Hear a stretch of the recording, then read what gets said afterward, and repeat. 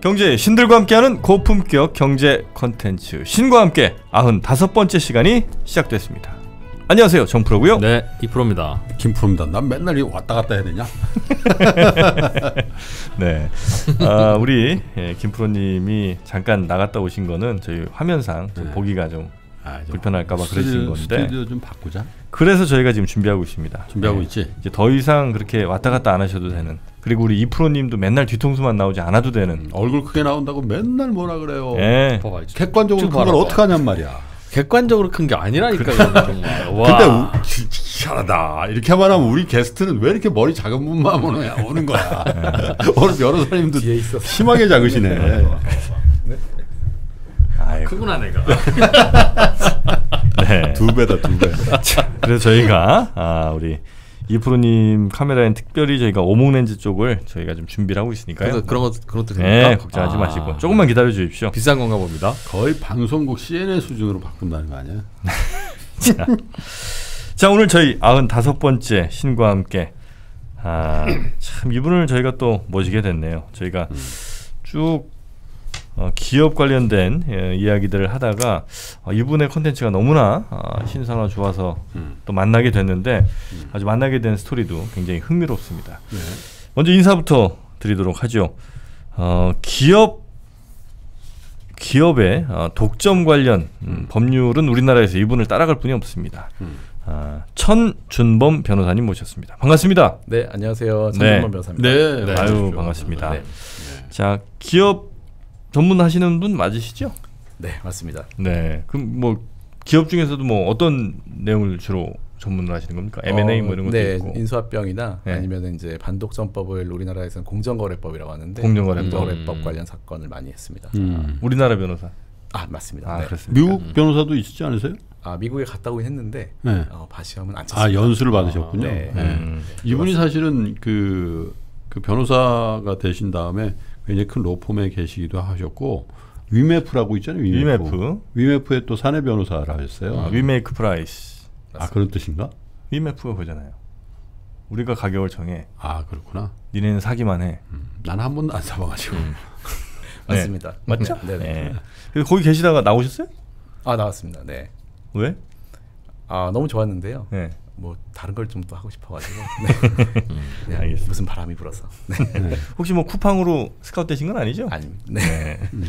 자, 그래서 우리 이천 변호사님이랑 어, 또 이미 일전의 얘기를 쭉 한번 저희가 음. 해보니까 야, 이 독점 관련해서 아주 재밌는 히스토리가 많더구만요. 그렇죠. 굉장히 중요한 이슈예요, 사실 미국에서. 네. 음. 음. 특히나 요즘에 점점 네. 기업들이 글로벌화되고 또 뭐 이렇게 플랫폼 회사 1위 회사들이 막 나오면서 음. 이건 뭐 독점 분명히 독점일 수밖에 없는 것 같은데 음. 그냥 쭉 가는 것 같기도 하고 음. 그래서 한번 우리 천 변호사님과 함께 이 이야기들 어떻게 해석해야 되는지. 음. 네. 음. 사실은 기업이 독점이라는 게 결과적으로 독점이지만 또 그게 좋으니까 그렇게 됐을 거 아니겠어요? 네. 그러니까 그걸 뭐라고 할 수도 없고 음. 음. 또저 친구만 혼자 돌아다니면 저거를 그냥 둘 수도 없고 그런 고민의 결과 인류가 어떤 지혜를 짜내서 이 그러니까. 문제를 해결하는지 오늘 그거 배우는 거죠. 그러니까 그 모노폴리라는 게 음. 사실 사실 예전부터 있었을 거 아니에요. 로마 시대도 있고 네, 그리스. 시대도 있는데 그런데 이제 이걸 법으로 규제하기 시작한 게 제가 알기로는 미국 아니에요? 네, 미국에서 네. 처음 이제 1890년에 법이 생겼고요. 예. 사실 지금 말씀하신 것처럼 옛날부터 독점도 있었고 담합도 다 있었습니다. 음. 옛날에 뭐 13세기에 네. 저기 십자군 원정 갈 때 베네치아에 있는 상인들 담합해가지고 떼도 벌었고요. 음. 우리나라에서도 청나라에서 아. 이렇게 수입해 올 때 그 상인들이 의주 상인들, 개성 상인들 다 거기서 담합으로 돈을 번 걸로 돼 있습니다. 음. 네, 다 독점이죠. 네. 담합하면 돈이 된다는 사실은 뭐 그냥 당연히 자연스럽게 알 수밖에 없는 거죠. 그렇죠. 그거 저 옛날 허균이 쓴 홍길동전인가? 아니다. 허생전. 네, 허생전에- 매점매석 해라 있죠. 네, 매점 매석 네. 나오잖아요. 네. 그러니까 그렇게 공급을 아예 누군가가 확 튀어 어, 쥐어 잡을 수 있다면 음. 가격을 내 마음대로 결정할 수가 있고 그렇죠. 그럼 뭐 어마어마한 네, 이득을 어, 맞습니다. 취할 수가 있는 거니까. 음. 근데 지금 이제 예를 들면 뭐 구글이니 아니면 뭐 아, 유튜브도 참 구글이죠. 어, 페이스북이니 네, 이런데도 거의 거의 독점 상황 아닙니까? 맞습니다. 네. 그죠? 구글은 이제 검색에서는 80% 이상이고 전 세계. 전 세계적으로 네. 유튜브도 80% 이상 지금 차지하고 있고 동영상 서비스에서. 네, 네. 스트리밍 서비스에서 거의 뭐 80%면은 보통 50%만 넘어도 독점 기업이라고 하거든요. 음. 아, 80%면 그래요? 뭐 압도적인 독점이라고 볼수 아, 있죠. 네이버도 대단하다. 네. 응? 네이버 전 우리나라 세계 80% 하는데 나는 still 네이버를 보고 있으니 대단한 거지. 그거. 네이버는 우리나라에서 검색 시장 70% 이상. 거기가 또. 독점이네. 네. 어. 예. 자, 그런 여러 독점 기업들이 계속 생겨나고 있는 것 같은데 아직 뭐 법으로 막는다는 얘기는 저는 못 본 것 같은데. 네이버요. 아니 음, 네이버도 아니요. 그렇고 네. 구글도 그렇지 않나요? 그래서 이제 소위 미국의 이제 팡이라고 네. 페이스북, 아마존, 애플, 아마존. 넷플릭스, 어, 아마존도 구글. 거의 독점 같은데. 네, 그렇게 다섯 개 회사가 있는데 네. 올해가 굉장히 또 미국에서는 이 반독점 이슈가 되게 핫합니다. 아 그렇습니까? 왜냐하면은 이들 이제 IT 회사들에 대해서 네. 이제 트럼프 대통령이 음. 뭔가 불씨를 당겼거든요. 네. 그래서 이들 회사 중에 넷플릭스 빼고 나머지 이제 아마존, 페이스북, 애플, 구글 음. 이 네 개 회사에 대해서 어, 조사가 대대적으로 시작됐는데 이게 지금 미국 어떻게 보면은 반독점법에서 이렇게 대대적인 조사가 처음입니다. 근데 미국은 법무부에서도 하고 공정이 거의 뭐죠? 무슨 FTC라고 해가지고 예, 이제 뭐 우리나라 말로 하면 연방 거래위원 거래위원회 네. 거기서도 하고 그러더라고요. 우리나라는 네. 공정위에서 하는 거잖아요. 그죠? 그렇죠. 음. 원래 미국이 이제 처음에는 법무부 DOJ에서 시작을 했었고요. 예. 근데 그 조금 나눠졌습니다. 기구가 나눠졌는데 FTC로 그래서 두 개가 병존하고 있습니다. 미국은 근데 음. 그 중에 우리나라는 FTC를 가져와서 공정거래위원회라고 만들어 놓은 거죠. 근데 이제 뭐 현재 구글 얘기도 궁금하기도 한데 사실 이제 좀 펀더멘탈리 네. 이게 그 미국의 이 반독점 규제의 어떤 역사적인 거를 좀 우리가 얘기를 해보면 음. 지금의 현상도 좀 쉽게 좀 음. 이해할 수 있을 것 같은데 그 얘기 좀 해보면 어떨까 싶어요. 네. 이제 미국의 반독점 이슈라는 게 옛날에는 없었습니다. 말씀하신 것처럼 음. 뭐 그냥 담합하면 하는 거고 다 먹으면 혼자 다 먹고 이랬어요. 근데 음. 이제 한 130년 됐죠. 1890년 그쯤에 이제 록펠러라고 아마 많이 들어보셨을 그렇죠. 텐데 음. 네. 미국 발음으로는 록펠러가 아니게 락커펠러. 라커펠러죠. 네, 라커펠러 센터도 있잖아요. 네. 맞습니다. 음. 거기가 이제 그 당시에 미국의 그 1860년 정- 정도에서는 전기가 없고 네. 그리고 석유도 없었어요. 근데 그 당시에 다 고래 기름을 썼습니다. 음. 아, 예. 그래서 1890년대. 1860년대까지 고래 아, 기름으로 1860 밤에. 이제 호롱불 뭐 음. 이렇게 했었어요. 일본까지 와서 고래 잡아가고 그랬다. 네, 그렇죠. 음. 그래서 이 고래 기름 쓰던 시절이었는데 음. 미국에서 이제 석유가 발견된 거죠. 그러다 보니까는 처음에는 아무도 관심이 없었는데 이 록펠러가 석유에 이제 아 이거 앞으로 잘 된다 알았던 거죠. 그래서 어, 음. 석유 사업에 뛰어들었습니다. 음. 그러면서 처음에는 좀 작은 정유업자 중에 하나였어요. 음. 근데 록펠러가 이제 은행하고도 친했고 또 철도왕 밴더빌트라고 혹시 들어보셨나요? 그렇죠. 네. 밴드빌트. 밴더빌트하고 또 친해졌어요. 독일계죠? 아, 네, 그런 것 같습니다. 그래, 어, 갑자기 네덜란드. 대학 대학이 있잖아 남부에 밴더빌트 네, 네. 밴더빌트 그 네, 바로 쪽이네. 가문이 만든 대학. 그렇죠. 네. 그래서 이제 밴더빌트 친하고 은행 친하고 해가지고 그 당시에 정유업자들이 되게 난립하고 있었는데 네. 어 이제 록펠러가 그 리베이트를 주기로 합니다. 철도 회사 밴더빌트한테 아. 내가 석유를 이만큼 많이 약정을 할 테니까 음. 운송 물량을 약정할 테니까 나한테만 좀 싸게 달라 음. 이렇게 밴더빌트하고 딜을 합니다. 그래서 네. 혼자 굉장히 적, 그 석유값을 낮출 수가 있었어요. 음. 운송비를 줄여서. 그렇죠.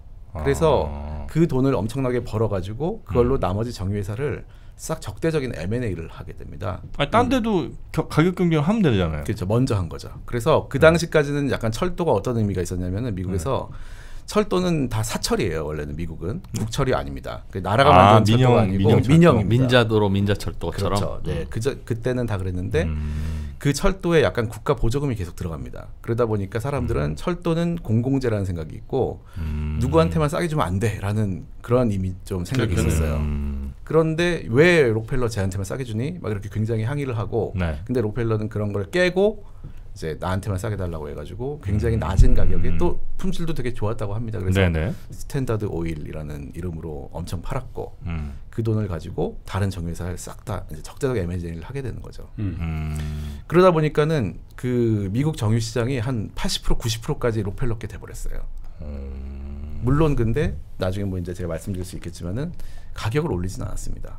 쌌어요. 그러니까 다른 정유 회사들이 감히 범접할 수가 없는 상황이 돼버렸어요. 음. 사실 이게 지금 최근에 아마존하고 전략이 거의 같습니다. 독점에 폐해를 주진 않았네요. 그런 논란이 있죠. 그래서 독점이 과연 90% 먹었는데 음. 돈을 엄청 먹고 있- 벌고 있는데 네. 이게 무슨 소비자한테 문제냐라고 록펠러는 스스로 음. 어떤 책에 또 쓰기도 했어요. 아니 많이 팔아가지고 싸게 준다는데 예. 뭐가 문제냐 음. 이렇게 하기도 했죠. 네. 근데 이제 그 당시에 미국이 좀 진보 시대라고 해가지고 네. 지금이랑은 좀 분위기 많이 달랐다고 합니다. 음. 그래서 부유한 사람들이 굉장히 많아지니까 그거 자체에 대한 굉장히 거부감도 있고 네. 뭐 저희가 뭐 정확히 알 수는 없지만 좀 불만도 많았겠죠. 아. 거기에 대해서 불평등도 많고 뭐 혹시 그 학부 때 경제학에서 깜짝 놀라시는데 경제학 베블렌 전공이세요? 아, 네. 변호사님이. 베블렌 효과라고 혹시 들어보셨나요? 아유 네. 많이 들어봤죠. 네, 과시적 소비 음. 네. 이런 얘기가 나온 게 딱 그때 1890년대입니다. 음. 그래서 워낙 미국의 부자들이 막 소비도 엄청 하고 이 그 뭔가 위화감을 많이 조성했나 봐요. 음. 그러다 보니까 록펠러는 어떻게 돈을 벌었나 이런 거에 대해서 이제 탐사 보고 보도가 들어갑니다. 음. 그 당시에 어 약간 지금으로 따, 따지면 이제 뭐 팟캐스트 비슷하게 생각할 수도 있는 것 같아요. 네. 그래서 좀 이게 뒤를 캐는 방송들이 이제 그 당시 방송이 아니라 잡지죠. 잡지에 연재를 하게 되고 음. 그게 굉장히 국민적인 그 호응을 얻게 됩니다. 아.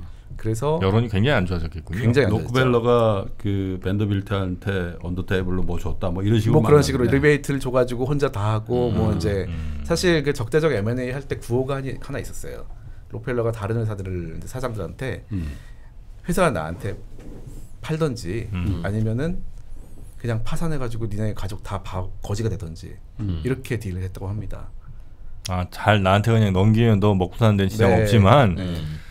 만약에 안 팔면 우리가 어, 어차피 파산이야 너는. 니네 알그지로 만들어 버려. 네. 어. 어, 가족도 못 먹일 거야. 이렇게 어, 협박을 하면서 적대적 M&A를 했고 그래서 실제로 인수를 한 회사들은 다 이제 점유율을 먹었고요. 네. 인수를 안 끝까지 버틴 회사들은 다 파산을 했습니다. 어, 그래요? 어, 네. 그래요? 네. 어. 어떻게 파산을 시키? 그냥 저가로 록펠러가 파니까 더 이상 팔 그렇겠지 수가 뭐. 없고. 치킨 게임 하고 뭐. 네. 음. 근데 워낙 덩치가 혼자 크니까 네. 어떻게 어. 버틸 수가 아, 없는 손해. 보고로라도 네. 맞아봐야 정신 차려 이런 거구만. 네. 자 그렇게 해서 이제 록펠러는 음. 이제 완전 독점이 됐는데 네. 거의 독점이 됐는데 당시에 막 탐사 보더니 아니면 일- 미국 당시의 분위기가 네.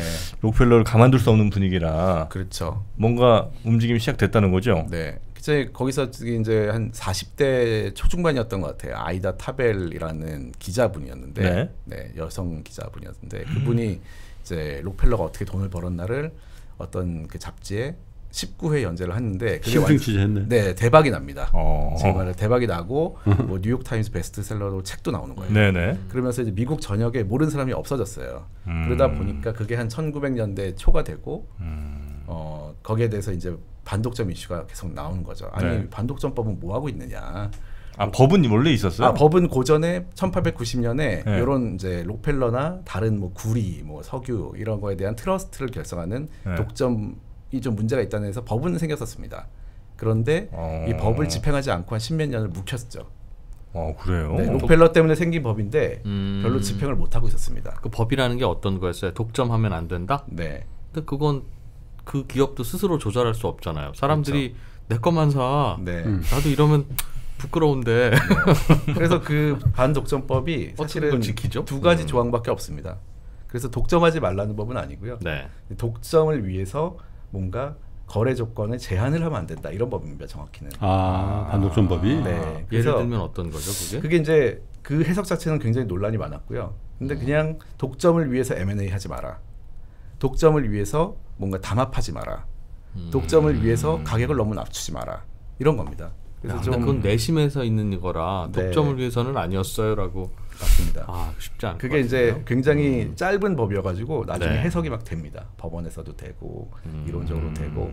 그러니까 뭐 예를 들면 그 회사 옆에서 막 원가 이하로 싸게 판다든지 이런 게 이제 뭐 걸자면 걸릴 수는 있겠네요. 그렇죠. 근데 이제 원가 이하로 판다고 해서 잘못된 건 아니에요. 그 독점을 위해서라고 하는 걸 검사가 입증해야 되는데 네. 저희는 재고가 많이 남아서 네. 아니면 소비자에게 뭘 환원하기 위해서 네. 오늘은 내 생일이니까 네. 다양한 이유로 맞습니다. 싸게 팔 수 있을 거 아니겠어요. 그래서 판례가 이만큼 쌓여 있는 겁니다. 지금 아. 그 법이 워낙 애매하고 음, 해석이 간단해서. 어렵기 때문에 그걸 가지고 이제 130년 동안 판례로 계속 음. 나오고 있는 게 이제 미국 반독점법이고 있고 그거를 가져온 게 이제 한국의 공정거래법입니다. 근데 이제 그 전에 그러니까 어, 록펠러가 법적으로 걸리기 전에도 법은 있었으나 네.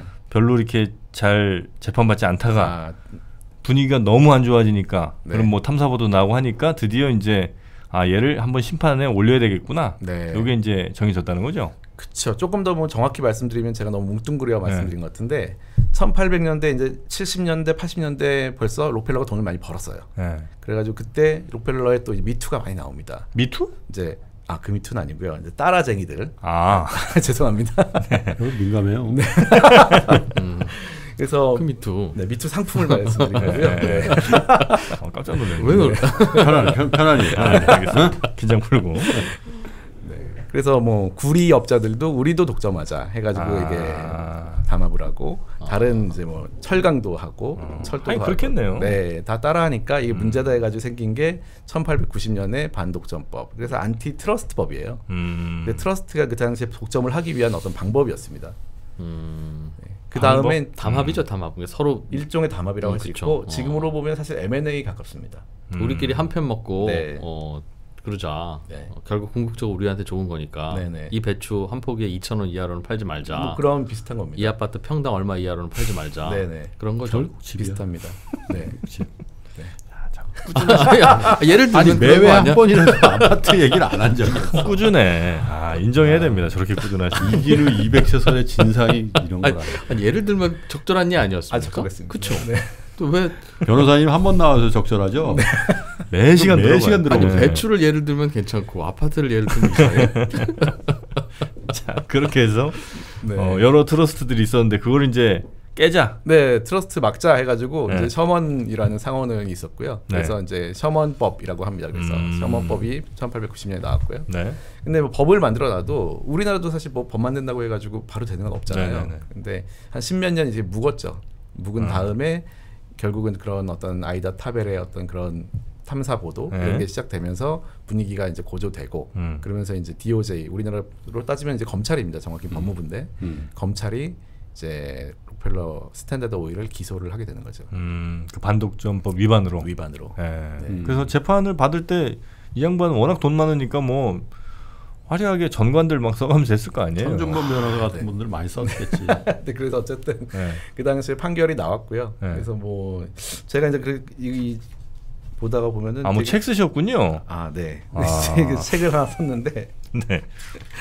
여기에 있는 이 되게 재밌는 시- 신문이 있어가지고 네. 이제 책에도 넣었는데 이게 딱그 당시에 판결문 대법관 아홉 명 얼굴을 시카고 트리뷴이라는 이 어, 그 유명한 신문. 네, 신문에 네. 일면에 이제 대법관 얼굴 아홉 명이 나옵니다. 음. 그러면서 여기에 이제 대법원이 스탠다드 오일 Octopus를 죽였다 이렇게 나오는데 아 문어발. 그 때도 문어 지금도 문어구나 이 제말 같은 네, 이게 역사가 동, 동서 고금을 막론하고 네, 어, 문어- 상징이 문어군요. 문어였어요. 음. 네. 아. 지네일 법도 한데. 야 그러네. Supreme Court Kill Standard Oil Octopus라고 썼네. 네. 그 일면톱이 그때는 시카고 트리븐이라는 제호 위에가 있네. 아 그러네요. 네. 음. 와, 그 맨 위에가 있잖아. 아, 그지? 아 그러네요. 우리는 지금 뭐 조선일보나 중앙일보 그 밑에 일면 톱이 있잖아. 네. 근데 음. 이때는 시카고 트리븐 그 위에 가 있을 정도로 재밌네. 아주 큰 사건이었고 네네. 그래서 이제 뭔가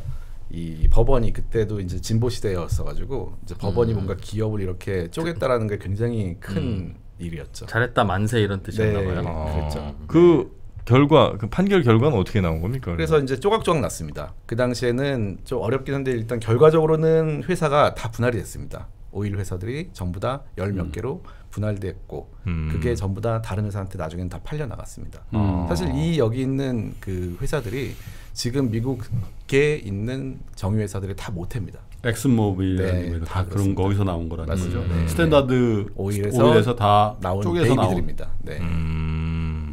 야, 이거를 파는 것도 쉽지 않았겠어요. 예를 들면 네. 언제까지 팔아라고 만약에 판결을 했으면 네. 그때 어떻게 했는지는 저는 모르겠습니다만 음. 그런 조건이 있으면 그 바이어스 마켓이 되잖아요. 네. 너 다음 달까지 말까지 팔아야 되는데 팔든 말든 몰라 네. 얼마야라고 하면 네. 또 끌려갔을 거고. 맞습니다. 음, 어쨌든 그냥 파, 파세요라고 하면 무조건 비싼 값을 불러서 네. 살 사람 없으니 어떡하냐고 또 버텼을 거고. 그렇죠. 음. 그래서 사실 다 팔진 않았고요 그 당시에 좀 남았죠. 그래서 록펠러가 이때 판결 받고 회사가 분할됐는데도 네. 그렇게 뭐 금전적으로 손해 본건 아? 없다라는 말도 있습니다. 그래서 결국은 록펠러 센터가 어찌 보면 엑시시였네. 그렇죠. 어. 1930 몇 년에 이제 지어졌죠. 네. 그 당시 그 당시까지도 그 부는 계속 유지가 된 거죠. 음. 네. 그렇게 해서 이제 록펠러의 어쨌든 뭐 antitrust 법이 그래도 첫 네, 집행이 어, 된 성과를. 예, 네. 집행을 뭐 했고 감방에 가거나 그러진 않았어요. 네, 그건 아니고요. 음, 네, 그냥 돈으로 해결한 거네. 네, 이제 분할 자체가 이제 음. 이때 어떻게 보면은 회사 분할이란 걸 이제 상상을 못하던 때인데, 아. 아. 네, 분할 판결이 나왔고 이게 어떻게 보면 미국의 지금 그 이제 페이스북이나 아마존 같은 회사에 대한 음. 어 약간 우려나 또는 네. 시장에서 걱정하는 게 저희는 잘 이해가 안 될 수 있잖아요. 그렇죠. 왜 이렇게 걱정하지? 뭐 과징금 몇 개 맞으면 되는 음. 거 아닌가? 이런 생각을 하지만 미국 이 반독점법에 흐르고 있는 불안입니다. 회사는 언제든지 쪼개질 수 있다. 음. 그래서 록펠러의 이 스탠다드 오일을 시작으로 한 몇십 년에 한 번씩 회사가 쪼개집니다. 그래요? 네. 아니요 지금 한 100년 된 얘기고 이거는 네. 뭐 1910 몇 년이면 네. 그 다음에 뭐 있어요? 독점 그렇게 할 만한 회사가 없는 것 같은데. 뭐 대표적으로 이제 파라마운트 사건이라고 파라마운트 영화, 영화사? 네, 영화사. 거기도 독점했었어요? 네, 그거는 이제 수직적 독점이었죠. 왜냐하면은 영화가 우리나라에서도 지금 비슷한 사건이 있었는데 CGV 말하면 예, 되나요? 괜찮아요. 아, CJ가 네. 영화 만들고 배급하고 극장하고. 네, 음. 그런 비슷한 일이 이제 미국에선 1940년대 있었습니다. 어. 그래서 영화사하고 극장들하고는 원래는 대립 관계였는데 네. 영화사가 극장들을 다 샀죠. 음. 다 사가지고 이제 우리 제일 좋은 우리 영화들을 극장 제일 좋은 시간에. 극장에다가 시간에다가 음. 꽂기 시작한 겁니다. 음. 그래서 그때도 이제 똑같이 반독점 문제가 생겨가지고 음. 그거는 또 박살났어요? 네 또 주식 매각 명령이 납니다. 아 영화관 팔아라. 네 다 팔아라 우리 해가지고 뭐 CJ 주- 여전히 하고 있잖아. 그렇죠. 우리- 우리나라에서도 비슷한 사건이 있었습니다. 근데 우리나라에? 과징금 맞았죠. 어떤 건데요? 그 비슷하게 또 영화관이 우리나라도 뭔가 이 배급사가 한세 개 정도 있고 네. 또 영화관도 유명한 뭐 CGV 메가박스 등 롯데 등 네네네. 있잖아요. 그래서 다 계열 관계로 엮여 있거든요. 네. 음. 그래서 비슷하게 야 왜 우리 그 이제 옛날에 왕의 남자였던 것 네, 같아요. 네. 네, 왕의 남자 천만 관객 들어갈 때 아마 그 C모 회사가 네. 자기 관에다 너무 좋은 것만 꽂는 거 아니냐, 음. 너무 스크린 독점하는 거 아니냐 이런 이슈가 있었고요. 있겠죠. 네. 뭐 아빠는 극장하고 아들은 영화 제작하면 아들이 만든 영화 계속 아빠가 꽂아주고 꽂아주는 거죠. 뭐 네. 그럼 아들은 마음 놓고 만들 수 있고 네. 볼 때까지. 그래서 공정위가 그때 조사를 했고요. 그래서 과징금이 나왔는데 음. 법원에서는 사실 뒤집혔습니다. 네, 자, 과징 잘못 아니다. 네, 잘못 아니다. 근데 굉장히 애매하긴 해요. 지금 말씀하신 것처럼 어. 아니 이거 뭐 좋아서 꽂아준 건데 왜 그렇죠. 문제입니까? 어, 그러니까 아빠가 보기에 네. 나는 이게 영화가 훌륭해서 꽂았다. 네, 네. 나도 미쳤다고 손해 보고 싶겠냐? 더 재밌는 영화 꽂으면 그렇죠. 네. 그게 더 관객이 많이 드는 거지. 네, 네. 음, 괜히 아들 영화 꽂았다가 관객이 안 들면 아들도 망하고 나도 망한다. 영화관 그런 그. 배급사 계열 세 개가 있는데 다 똑같아. 아들이 만든 영화만 다 좋아해. 그게 팔이 또 안으로 굽나 희한하게. 봐. 희한하게. 눈이 안으로 굽나 메가박스도 CCTV도 희한하게 그렇게 돼 롯데 시네마도 다, 네. 다 아들이 만든 영화만 좋아해. 근데 그게 또 그런 해석도 있어요. 약간 어, 친기업적인 해석일 수도 있는데 네. 아들은 영화를 만들 때 네. 아빠가 꽂아줄 걸 알잖아요. 네. 그러니까 과감하게 제작비를 투입할 그렇죠. 수 있어요. 네. 그러다 보니 영화가 재밌어질 수밖에 없어. 아, 그렇죠. 어. 네. 그런데 아빠가 영화관이 아닌 영화 제작자는 돈을 넣을 수가 없어 리스키해서. 네. 그래서 푼 돈으로 만들다 보니까 재미가 없어 정말.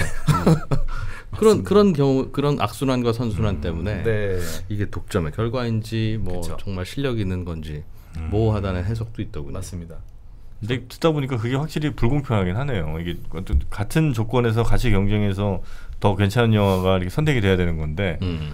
아빠가 극장주란 이유로 네. 그냥 그렇게 할 수 있는 환경이 누군가에게 너무 불리하게 돼 있으면 음. 결국은 이게 몇 번 더 거치다 보면 좋은 영화는 아예 안 나올 수도 있는 그렇죠. 그 소비자의 결국은 손해가 그렇죠. 될수 있는. 그렇지. 음. 그 그런 주장도 있고요. 네. 네. 반대로 그런 게 없으면 다들 저예산 영화만 만들다가 아, 3D 영화 영화만 망한다. 나온다? 어, 네, 그런 그렇죠. 주장도 있어요. 그래서 네. 어떤 게 맞는 건지는 이게 정답이 없습니다. 네. 그백 몇십 년 동안 음. 왔다 갔다 했습니다. 미국도 아? 시대에 따라 가지고 많이 왔다 갔다 했습니다. 그렇지. 아빠가 영화관이면 아들은 재미없게 일부러 마, 일부러 만들진 않겠지만 네. 나태하게 만들 수도 있잖아요. 그렇죠. 또 뒤집어. 말하면. 네. 그러니 어떤 결과가 나올지는 어, 그 파라마운트도 그렇게 저 반독점법으로 다 주식 팔고. 팔고 몇 년대예요, 그거는? 48년, 40년대? 43년에서 8년 사이. 1948년도에. 네. 아, 씨, 우리는 진짜 한참 정신없을 때 미국 애들은 그런 거 가지고 아, 토론했구나. 그리고 나서는 뭐 없었을 것 같은데. 그 다음에 이제 AT&T라고 전화회사 분할했습니다. 아, 1980년대. AT&T. 지금도 미국 제일 네. 뭐. 그 당시에는 시외 전화, 시내 전화를 다 독점하고 있었어요. 음. 그런데 그것도 역시 독점의 폐해가 있었어요 그때도 전화요금을 올린다든가 그랬겠죠. 네, 그렇죠. 음. 그래서 점점 뭐 그런 저도 아주 디테일한 증거는 못 봤지만 문제가 음, 있어서 음, 음. 결국 분할 명령이 나왔고 일곱 개 지역으로 쪼개졌습니다. AT&T가요. 네. 어. 그래서 당시 에 이제 Baby Bell이라는 회사들이 쫙 생겼고요. Baby Bell. 네. 아, 벨. 벨, 벨이었거든요. 그 당시에 벨 그렇지. 전화 회사. 아. 그리고 그 뭐예요? 벨, 벨, 벨이 만든 회사인가? 그게? 네, 네, 맞습니다. 전화기 만든. 그 네. 벨이 만든 회사입니다. 음. 근데 그 벨이 결국엔 쪼개졌다 해가지고 Baby 네. Bell들이 각 음. 몇 주씩 동부에는 어디, 서부에는 음. 어디 이렇게 지역을 쫙 쪼개가지고 네. 분할이 됐습니다. 음. 어, 그리고 나서 그러면 이제 지금이 이제 첫 이슈인 건가요? 근데 또 하나가 있습니다. 뭐죠? 저희 이제 저희 시대로 조금 넘어오는 것 같은데 네. 마이크로소프트도 분할될 뻔했습니다. 아, MS는 하긴 그렇지. 음, 그럼 그런 이슈 있었죠. 네. MS가 MS 1등이었죠. 네. MS가 MS 아, 1등이. 정말 아 지금 아, MS. MS 네. 마켓쉐어 1등이죠. 아 왜? 아, 내가 뭐, 뭐 잘못했니? 난 최소한 아파트 얘기를 하질 않았어요. 아, MS가 MS가 1등이었다는 말을 잠깐 뒤로 한 채 우리 정신 좀 차리려고 또 광고 좀 듣고 오겠습니다. 네. MS는 네. 압도적 1위였죠. 네. 그래서 이전에 어떤 회사들보다 더 1위인 것 같은데 여기는. 네. 그 당시에 이제 PC 예전에 기- 기억해 네. 보시면 모바일 없을 때는 네. PC가 결국 IBM 호환 음. 아니면 그러니까요. 맥킨토시 아, 맥킨토시. 밖에 없었죠.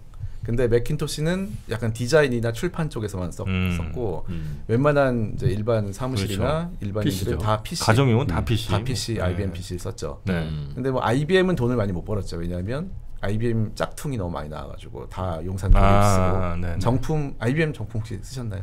하드웨어를요? 네. 아, 그못 쓰죠. 아무도 안 써. 네. 사무실에 몇 대 있었어요. 어. 저는 신입사원 때. 아, 그렇습니까? 그 하얀 색깔도 아니고 약간 미색 나는 그 네. 있잖아요. 컴퓨터 본체가 원래 다 그 색 많죠. 약간 미색. 빛 바래서 그렇게. 쓰다 보면 점점 미색. 네. 그리고 마크는 고동색이었어.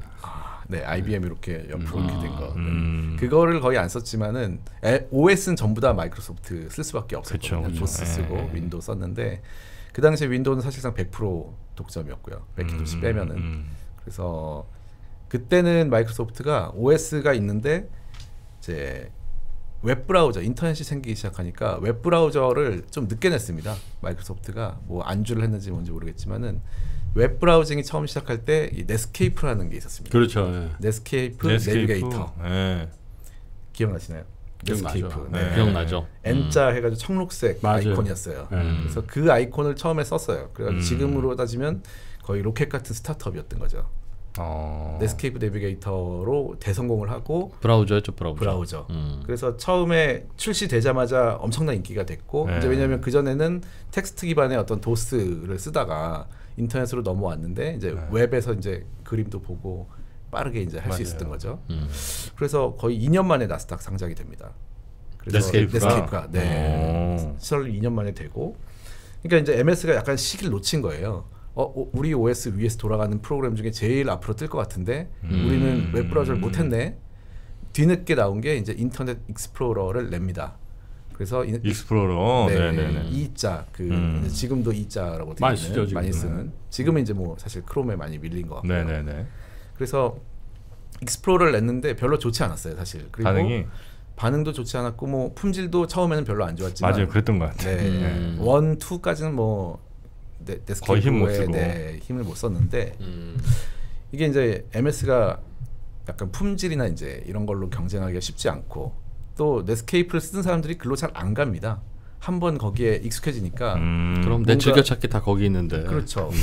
그리고 이제 홈페이지 제작하는 사람들도 전부 다 넷스케이프에 맞춰가지고 아. 제작을 하게 돼요. 그러니까 쓰는 만든 사람도 넷스케이프 맞추고 네. 쓰는 사람도 넷스케이프가 좋고 하니까 음. 아무리 익스플로러를 좋게 네. 만들어도 이게 잘 MS가 안 올라가는 겁니다. 그게 음. 경로 의존성이라고 보면 될까요? 네. 일종의 패스트 디펜던시라는 음. 네, 경로운전성 전략이고요. 뭐 한마디 해줘. 아니 이게 눈 눈빛들이 약간 좀 존경의 눈빛이 전혀 안 보이네요. 경로 의존성 나왔는데 뭐 아 됐어요. 아니 안 받을래요 그러면. 일당 보에서 뭐 다뤘구나. 자 그래서 네스케이프가 그래도 계속 MS 1위였는데 네. 근데 이 OS를 독점하고 있는 MS가 네. 이 약간 전략을 하나 씁니다. 어떤 전략이냐면 그 익스, 인터넷 익스플로러하고 OS를 그냥 붙여버립니다. 음. 그래서 언제부턴가는 이제 옛날에 기억하실지 모르겠는데 윈도우 95 문제 업데이트하고 막 그러면은 새로 전부 다 깔아야 되거든요. 그 네. 프로그램을 음. 깔아야 되는데 어느 순간 갑자기 OS만 업데이트했는데 익스플로러가 그냥 깔려 있는 거예요. 화면에. 바탕화면에. 바탕에 깔려 있습니다. 음. 근데 이게 뭐야 하고 클릭해봤더니 이것도 인터넷 음, 브라우저. 되는 거예요. 음. 근데 처음에는 사람들이 별로 이거 지우고 넷스케이프도 받고 막 그랬어요. 음. 그러니까 아예 못 지우게 만들어 버립니다. 아 익스플로러를 네, 익스플로러를 지우면 뭔가 OS에 문제가 생기게 만들어요. 마이크로소프트가 네, 아예 삭제를 못 하게 만들어 버립니다. 음. 그건 조금 그게 그게 시비 걸렸겠구나. 좀 걸릴만. 하겠네. 네, 그러니까 끼워서 넣는 것까지도 항변의 여지가 있을 것 같아요. 네, 예를 들면 현대자동차가 차 안에 네, 공기청정기를 내장했다. 네, 그건 고객을 위해서 그럴 수 있잖아요. 네. 그렇죠. 네. 근데 기존에 자동차용 공기청정기 만드는 사람들은 저거 저 저러면 안 된다고 할거 아니겠습니까? 네, 맞습니다. 뜨거운 논쟁이 있을 거예요 아마. 네, 근데 서- 다른 거는 작동 안 하게 하거나 내 거가 안 빠지게 하거나 이거는 좀 그렇죠. 문제가 공기청정기 있지. 뺐더니 갑자기 시동이 안 걸리고 뭐 이런 약간 그런 어, 상황 그런 거 있을 수 있지. 차를 부셔버리고 싶겠는데. 어. 그래서 이제 이게 반독점 문제가 됩니다. 네네네. MS는 그 전부터도 사실 너무 100%를 하고 있었기 때문에 각종 이슈는 있었어요. 음. 참 근데- 욕심도 많아 그죠? 그 정도 독점이면 충분히 먹고 살만한데. 네. 근데 이제 그 새로 뜨는 인터넷 시장을 네스크리프트한테 주기 싫었던 거죠. 음. 완전 표준이 돼 버리면 결국은 아유 나도 그런 얘기 들었어 지난 6월 달인가. 아유 그 경제 카테고리에서 1등을 그렇게 해서 뭔 또 욕심낸다고 저녁 라이브까지 하냐? 아 그러네 또. 전용 라이브를 아, 빼면 힘들어서 하는 건데. 아 마이크로소프트 카테고리에 있는 팟캐스트들 다 그렇게 생각하지. 마이크로소프트가 이런 기분이었구나. 그래 우리도 이 저녁 라이브를 안 들으면 아침 라이브도 못 듣게. 어 그러네요. 끼어팔기인가요? 자, 그렇게 해서 네. 끼어 팔기 해서 결국은 작전 성공했 했죠. 하- 한 거죠. 그러니까 익스플로러 다 썼겠지. 그렇죠. 그 나올 때 되게 좋은 품질적으로 비슷한 익스플로러가 나왔을 때까지도 점유율은 한 75대 15, 뭐 25죠. 25 음. 정도밖에 안 됐습니다. 그래서 넷스케이프 계속 잘 되고 있었는데 이제 끼어 팔기를 하는 순간 이게 그 다음에 이제 윈도우 업데이트 98로 넘어갑니다. 음. 윈도우 98로 넘어갈 때 확 뒤집히기 시작해요. 왜냐하면 아. 사람들이 이 익스플로러를 쓰고 이것도 인터넷 잘 되니까 음. 어차피 지울 수도 없는데 음. 이거 쓰는 겁니다. 그러니까 그렇겠죠. 넷스케이프 다운이 안 돼요. 그리고 심지어는 어떤 새로운 프로그램 다운로드 받을 때는 자동으로 그냥 내가 쓰던 익스플로러 아닌데도 익스플로러가 뜹니다. 그냥 막. 그리고 심지어는 이제 예전에 기억나실지 모르겠는데 F1이 그 도움말이에요. 음. 아 예. 예, F1이 근데 그 컴퓨터에 내장된 게 아니고 인터넷 타고 들어옵니다. 도움말이 보통. 음, 아, 음, 그래요? 음. 네, 근데 나는 넷스케이프 잘 쓰고 있었는데 도움말 누르면 도움말 누르면은 익스플로러가 익스플로러 갑자기. 떠요 어디선가. 음. 이게 사람들한테 계속 보여주고 지우지도 않고 그러니까 안 지워지니까 어디서 붕붕 뜨는 거죠. 포기하는 거지. 야. 네, 그러다 보니까 아 그래 그러면 거기다가 그 저희 탐색기도 결국 그 영어로는 익스플로러거든요. 음. 파일 탐색기도. 아, 그렇죠. 음, 음, 음. 파일 탐색기 위에다가 그냥 그 www 치면은 인터넷으로 음. 넘어갑니다. 음. 근데 그게 넘어갈 때는 익스플로러로. 무조건 익스플로러 넘어가는 거죠. 아.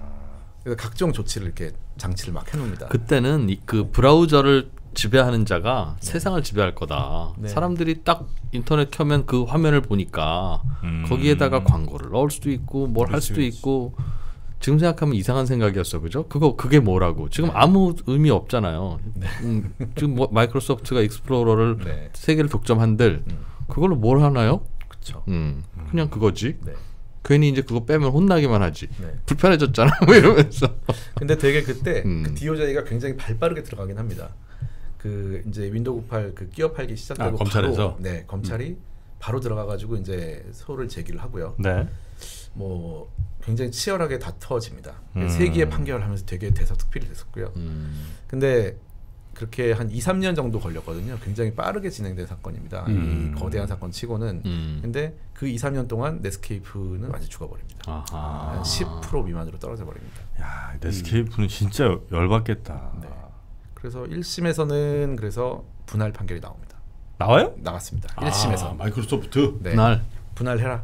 아. 그래서 OS와 나머지 부문으로 분할하라는 판결이 1심에 나왔어요. 음. 어. 그러니까 뭐 마이크로소프트 당연히 항소를 했겠죠. 네. 음. 근데 항소를 했는데 2000년이에요. 그 2000년에 1심 판결이 나왔고 2001년 정도에 미국의 기억이 나실지 모르겠지만 이게 정권이 바뀝니다. 부시? 부시로 넘어갑니다. 네. 음. 2001년도가 저거 아니에요? 911? 네. 네. 2000년에서 2001년 넘어갈 때 음. 이제 민주당이 공화당으로 바뀌면서 약간 분위기가 바뀝니다. 약간 공화당 정부는 약간 친기업적이고 아. 그런 이제 법무부도 결국은 이제 행정부기 때문에 영향을 받거든요. 그래서 수장이 다 교체가 되고 이 아. 마이크로소프트 사건 하는 담당도 다 교체가 돼요. 아 그래요? 그러다 보니까 뭔 맥인 거 아니에요? 모르겠습니다. 원래 정권이 바뀌면 다 바뀌는 거예요 낙하산으로. 아니 그랬겠지. 진행 중인 우리도 그렇잖아. 네. 자 그래서 음. 그래서 판결이- 2001년 판결이 이제 2001년에는 판결이 이제 그래도 분할은 아니지만 위법하다는 나옵니다. 근데 네. 위법하다. 위법하다까지만 나옵니다. 근데 2심 판결이 나온 다음에 합의를 해버립니다. 마이크로소프트하고 넷스케이프하고 그 법무부가 합의합니다. 아, 법무부하고? 네, 넷스케이프는 피해자라서 뭐 어떻게 할 수가 음. 없고 그 검찰하고 이제 합의를 한 거죠. 우리나라로 치면은 네. 음. 검찰하고 회사하고 합의를 해가지고 이제 얼마 이제 벌금 내고 끝나는 걸로 이렇게 합의가 됩니다. 어, 그럼 그냥 그, 계속 붙여서 나가는 건 붙여서 나가고요. 그거는 다 안 하기로 됐죠. 잠깐만요. 네. 그럼 망한 넷스케이프한테는 그 벌금 거둔 걸로 유로금을 주나요? 그렇진 않죠. 그냥 망한 거죠. 그럼 넷스케이프랑 마이크로소프트랑 싸워서 넷스케이프가 망했는데 돈은 검찰이 벌었네요. 어, 네. 미국 정부가 벌었네요. 그 망한 애는 그냥 망했네요. 그, 그 이제 이 어떤 판결이나 이런 거를 보다 보면은 항상 판결은 이겨도 사업에선 지는 경우가 되게 많고요. 그렇겠네요. 네. 근데 다른 얘기지만 넷스케이프가 그때 계속 생존했어도 뭘로 벌어서 살았을까? 마이크로소프트는 그 소프트웨어 패키지를 돈 받고 파니까 할 수 있지만 네. 넷스케이프는 결국 그거 유료화하는 거 말고는 없었을 텐데. 그 당시에 에스케이프는 뭐 메일도 준비하고 있었고요. 그러니까 이 브라우저에 아예 이메일이 탑재되는 겁니다. 그 봐요. 그러니까 자기들도 똑같은 짓 하잖아. 지금 이메일 만드는 애들은 어떡하라고 그러면. 그러네요. 네. 음. 아니 뭐 그 저 브라우저에 광고 같은 거 좀 넣을 수 있지 않을까요? 그렇죠. 네. 음. 뭐 검색 광고 같은 걸 넣는다든지. 얼마나 귀찮고 짜증 났겠어요. 어. 하여튼 그래서 결국 넷스케이프는 지금 역사 속으로 사라지고 사라졌고. 네. 음. 아. MS는 잘 버텨나가고 살아있고, 있고. 네. 어. MS는 그 전략 자체가 그냥 OS를 가진 업체는 다 비슷합니다. 플랫폼 업체들의 전- 전략이 다 비슷한데 네. 그 자기 플랫폼에다가 뭔가 계속 붙이는 겁니다. 그 뭐 익스플로러도 붙이고 음. 예전에 보면은 그 미디어 플레이어도 붙어 있었을 거예요. 미디어 플레이어도 아. 여러 가지가 많은데 그냥 미디어 플레이어도 꼭 아 윈도우 윈도우에- 미디어 플레이어 있어요. 네. 근데 그게 마치 되게 디폴트인 것처럼 맞아요. 생각이 되지만 음, 다른 네. 것도 많이 있었거든요. WMP 뭐 이래갖고 네. 그뭐 예를 들면 무슨 MP3나 MP4 뭐 이런 아니면 뭐 AVI 이런 파일 AVI가 여러분 야동이 아닙니다. 예, 그냥 동영상 파일 형식이에요. 아니 누가 뭐라 그랬냐고. 그러니까 아까부터 그래요. 괜히 찔려서 그러니까요.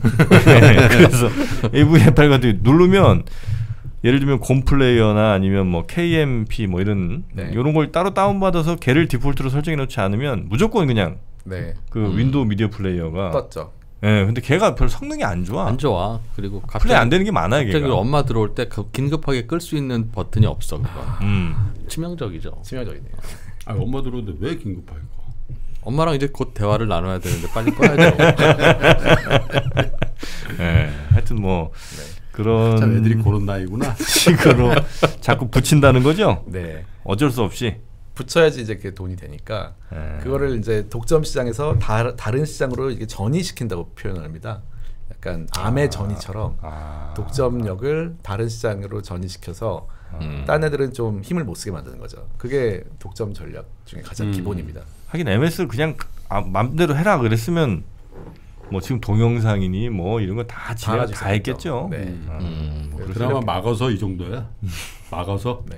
근데 그러네. 그렇게 붙이는 과정을 네. 그 자체가 위법이라고 봐요? 그거는 이제 MS에 따라 다릅니다.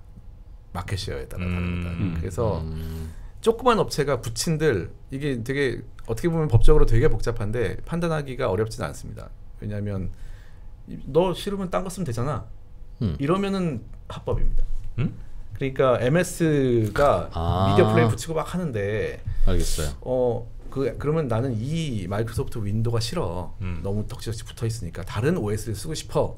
해가지고 뭐 다른 OS를 쓸수 있다. 음. 현실적으로 그러면 그러면 괜찮다는 뭐 거죠? 말든 아무 상관 안 합니다. 그래요. 뭐 우리 모든 사업이라는 게 네. 편의점에서 처음에는 과자만 팔다가 도시락도 팔고 뭐 우표도 팔고 건전지도 팔고 자꾸 붙이는 거잖아요. 네네. 모든 사업의 확장이라는 그렇죠. 게 그런데 근데 붙인다고 뭐라고 하면 안 되지 않나 싶어서 여쭤본 근데 거예요. 그 회사가 독점 회사 독점 회사가 되면 안 된다. 왜냐하면은 음. 저희가 만약에 이제 지금 예를 들면은 그 편의점 이마트 이제 네, 24에 네. 노브랜드 상품이 들어가고 있잖아요. 음. 근데 노브랜드 상품 싫으면 안 먹으면 되고 음. 나는 저기는 노브랜드 상품밖에 없으니까 난 GS 가야지. 이렇게 음. 하면 바로 옆에 GS 갈 수 있잖아요. 네, 네. 그러면 괜찮다. 괜찮은데 만약에 우리나라에 있는 편의점이 전부 다 이마트 24밖에 없어요. 음. 그리고 거기서는 노브랜드밖에 안 팔아요. 그러면은 소비자는 어. 노브랜드 과자만 먹어야 되잖아요. 그렇죠. 다른 과자 중요하다. 네. 음, 아직은 우리는 괜찮겠네. 발칙한 경제 들어도 되고. 요즘은 잘 안 들으시지만 손경제 들어도 되고. 아, 그러네요. 네. 아, 그러니까 소비자의 선택을 어느 정도 그러니까 보장만 한다면 네. 그거는 괜찮은데 네. 소비자의 선택권을 침해하는 수준이 된다면 그거는 법적으로 안 된다는 그렇죠. 거군요. 아, 그게 그렇게 그래서 판단. 아마존이나 요즘 그런 업체들에 대한 조사도 네. 이제 다들 그렇게 말씀하시는 것 같아요. 아니 아마존이 음. 지금 문제가 되는 게 여러 가지 있지만 자기 물건을 위로 올린다는 거거든요. 자꾸 어? 그게 무슨 말이에요? 그게 뭐냐면은 이제 아마존이 그냥 마켓플레이스만 있는 게 아니고 남의 물건 파, 아, 그 장터가 아니라. 네 자기가 자기 창고에 있는 거 파는 게 있고요. 아. 남의 서드 파티 걸 파는 팔아서 올려주는 게 있습니다. 그러니까 상인이 와서 파는 공간이기도 하지만 네. 아마존이 직접 자기네들이 물건 소싱해서 자기가 팔기도 한다. 그렇죠. 아마존 상품이 있습니다. 음. 음. 근데 은근히 뭔가 그 이게 의혹이니까 아직 정확히 알 수는 없지만 그 조사에 그게 위로 올라와. 네 아마존 것만 뭔가 위로 올라오는 것 같다. 아까 자꾸- 그 자꾸 눈에 띄어. 영화랑 비슷한 겁니다. 네, 첫 뭔- 화면에 계속 떠 있어. 네. 사람들이 많이 찾으니까 그러는 거야. 네. 라고 얘기하겠으나 네. 첫 화면에 많이 뜨니까 사람들이 많이 찾지 또. 네. 근데 그거를 아마존 같이 큰 업체가 아니고 네. 뭐 조그만 그냥 뭐 지금은 이제 점유율이 많이 줄었으니까 이베이에 뭐 그런 게 발생한다. 이베이는 현재 지금 미국에서 점유율이 8% 미- 밑으로 떨어져. 아, 이베이 이베이가 거의 안 하더라고. 네. 그렇게 줄었어요? 네. 안 해. 그래 마켓쉐어 아니면 괜찮아. 야, 네, 그렇다고 그렇죠. 이베이가 그 조그만 회사가 되다니. 야, 너무. 그건 괜찮은데 이제 네. 너무 큰 회사가 그러면 안 된다라는 게 기본적인 음. 아, 네. 결국 그래서 그 너무 큰 괜찮은 네. 요 경계선이 문제일 텐데 네. 그 판단이 법에 있어요? 없습니다. 아 그조차. 네. 그리고 근데 뭐 법관의 아, 법관의 판결인가요? 그게? 판결이죠. 음. 근데 그게 market share로만 딱 이렇게 보기는 어렵습니다. 왜냐하면은 음. 시장이 이제 market share를 따지려면은 분모가 있고 분자가 있잖아요. 네. 음. 그 분모라는 거는 시장 크기거든요. 음. 그리고 분자가 이제 거기서 매출액이 얼마냐. 음흠. 이 규모의 시장에서 매출액이 이만큼이기 때문에 몇 퍼센트다 이렇게 나오잖아요. 근데 이 분모를 판단하기 되게 어렵습니다. 코카콜라는 마켓 쉐어가 몇 퍼센트인가요? 코카콜라. 아, 콜라 시장에서는 이, 지배적이지만 네. 음료수 전체 시장에서 아, 보면 네. 어, 또 코카콜라 자꾸 기분 나쁘면 환타. 탄산음료 시간 어, 시장에서는 그렇죠. 그러면 근데 전, 뭐 전체 음료를 또 확대 확대하면 네. 비락시켜 마셔도 되잖아. 그렇죠. 이러면 또 음. 점유율이 작다고 보이네요. 네네네. 그래서 이 분모를 하는 게 거의 그런 독점을 판단하는 데서는 거의 전부인데요. 여기서 무슨 경제학자들도 엄청 동원되고 뭐 그렇습니다. 미국에서는 우리나라는 어떤 걸 시장으로 보느냐. 네네네. 구글도 마찬가지겠네요. 그러면. 그렇죠. 아. 네, 구글이 뭐 검색으로는 압도적으로 1등인데 네. 구글이 그것만 하는 건 아니니까. 네. 록펠러도 그렇게 반론했겠구나. 네. 독점이야 그러면 아니 석탄 떼는 사람도 있고 장작도 있고 실제로 마차도 있는데 네네. 그래서 그게 이제 그것도 만약에 그 테스트가 하나 있습니다. 되게 쉽게 할 수 있는 테스트인데 콜라가 콜라 되게 좋아하시는 거예요. 네. 근데 콜라를 좋아하는데 갑자기 아, 코카콜라를 좋아한다고 네, 해볼게요. 네. 근데 펩시 콜, 코카콜라 값이 갑자기 조금 올랐습니다. 네. 그러면 갑자기 펩시로 넘어가나요? 아니면 코카콜라 저는 코카 먹어요. 계속 드시는 거죠? 네, 코카만 그러면 먹어요. 그렇게 락인이 많이 되면 될수록 네. 코카콜라 하나가 하나의 시장이 됩니다. 그러면 독점이다 이거죠. 네, 근데 어, 코카콜라 좀 넘, 올라가? 그러면 나는 펩시 먹을 거야. 그리고 펩시 먹고 아니면 난 사이다 먹을 거야. 이런 사람이 많아질수록 펩시하고 사이다가 하나의 시장이 됩니다. 그러면 독점 그건 아니다. 너무 어렵다. 진짜. 아, 네. 아, 정말 너무 판, 어렵다. 판사의 음료수 취향이 중요하겠네요. 아, 네. 정확히는 우리 경제학자들이 판단을 합니다. 네. 아. 어. 그래서 그 모수를 하는 게 굉장히 중요했던 사건이 하나 있는데 네. 뭐 어떻게 해야 되냐 이제 미국 사건이긴 하고 뭐 우리나라였는데 미국에서 홀푸즈 마켓이라고 혹시 아시나요? 홀푸드 있죠. 네. 저기 아마존에 샀잖아요. 네 맞습니다. 음.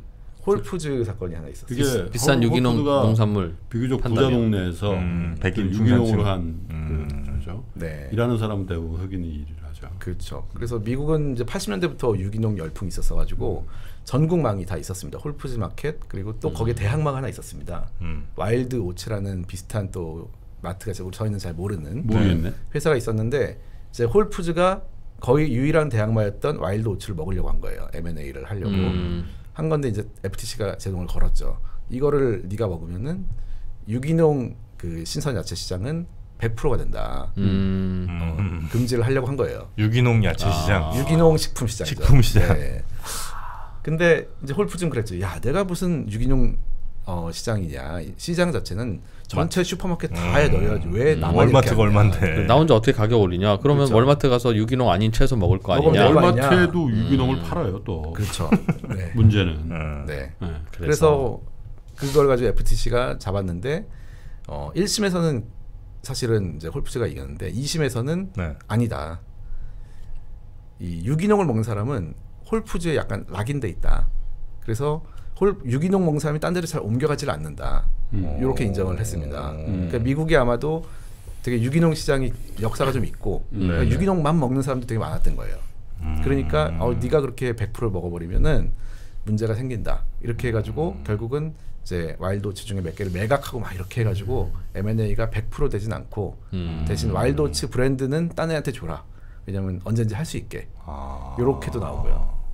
아, 브랜드를 아예 없애지 말고 네. 다른 누군가에게 줘라. 그러니까 요즘 우리나라에서도 비슷한 이슈로 붙고 막 하는 게 있죠. 그 LG U 플러스하고 네. 케이블 TV 어떤 회사를 네. 그 합병할 음, 때, 그렇지, 그렇지. 예, 그때 그걸 독점으로 봐야 되냐 말아야 네. 되냐가 그게 분못 따지는 그 컨셉이었을까요? 그것도?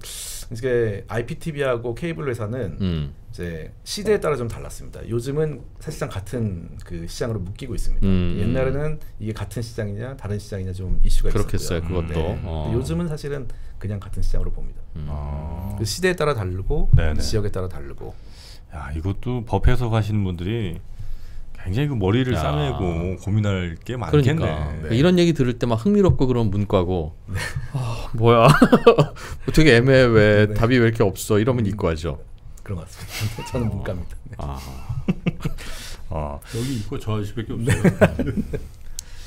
그러니까 이런 이런 애매모호함이 되게 싫어요. 네. 어, 그러니까 그- 그런 게 있어요. 그 빨리 결정해줬으면 좋겠어. 네. 뭐가 음. 자 그래서 우리 이 천준범 변호사께서 이런 내용들을 이제 아주 흥미롭게 엮은 책을 낸 거 아닙니까? 음. 예, 초기업의 시대 이 부제가 그들은 어떻게 독점 시장을 만드는가? 근데 사실은 지금 우리가 한 거의 한 시간 동안 얘기한 거는 법률적인 의미에서 반독점 뭐 어떻게 탄생했고 그런데 음. 사실은 우리가 그래서 모신 건 아니고 네. 어떻게 독점 시장을 만드는가 네. 음. 그게 더 핵심이에요. 왜냐하면 사실 마이크로소프트가 독점 시장을 만들었으니까 지금 뭐 음. 시총이 1조 달러니 뭐 이런 얘기를 하는 거고 음. 그런 그런 거 아니에요. 네. 그죠? 근데 사실은 투자의 관점에서도 보면 저게 악한 행위인지 뭔지는 모르겠는데 음, 서서히. 서서히 독점화되고 있다. 음. 그 초입 국면에서 그거 딱 샀는데 그게 진짜 결국은 어? FTC에서 수사 들어올 정도로 독점 기업이 되면 이미 나는 그냥 happy해져 있는 거야. 음. 늦게 맞죠. 들어가 가지고 지금 야 이제부터 좀 먹으려 그러는데 뭘 반독점이 이런 그, 그런 거죠. 맞습니다. 그래서 쓴 거야 이게. 그래서 우리 경제 프로그램에 나오시는 네, 거예요. 네. 자, 그럼 저희가 어, 잠시 좀 휴식 시간을 갖고 음. 예, 머리에서 이 legal 이슈들을 좀 제외하고 음흠. 좀 빼내고 음, 그다음에 이제 이슈로. economy 이슈로 음. 좀 한번 가보면 어떨까 네. 싶습니다. 그러면 잠시 쉬었다가 우리 초기업의 시대 어, 독점 시장을 어떻게 기업들이 만들어 나가고 있는지 그리고 어떻게 우리가 그런 기업들을 잘 찾아내서 음. 또 투자할 수 있을 것인지 어, 한번 2부로 이어나가 보도록 하겠습니다.